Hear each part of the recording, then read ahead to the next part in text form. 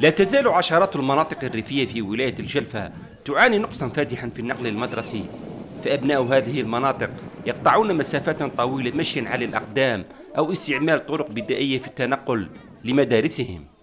النقل المدرسي آه، هناك عجز كبير خاصة نعرفوا شساعة الولاية وأنها آه، منطقة فلاحية راعوية عدد بلاد بلادية 36 عدد كبير من القرى والأرياف. فهنا نسجلوا كذلك قلت أن هناك عجز في النقل المدرسي وهذا من لمسناه أثناء تنقلاتنا واحتكاكنا بالمواطنين آه، أثناء خرجنا الميدانية. فهناك عجز كبير لابد من تداركه حتى نضمن تمدرس وتغطية للنقل المدرسي تتمس جميع الشرائح وجميع البلديات.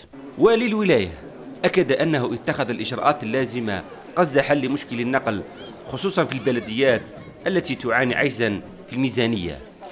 إجراءات باش ما يكونش فيه إجراءات باش ما يكونش فيه نقص في وسائل النقل.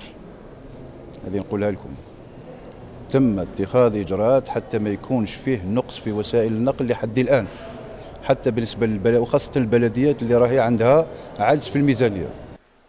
دخول مدرسي صعب هذه السنة ميز المناطق الريفية التي تعاني عجزا كبيرا في وسائل النقل في انتظار أن تجسد السلطات الولائية وعودها لحل هذا المشكل الذي عمر لسنوات.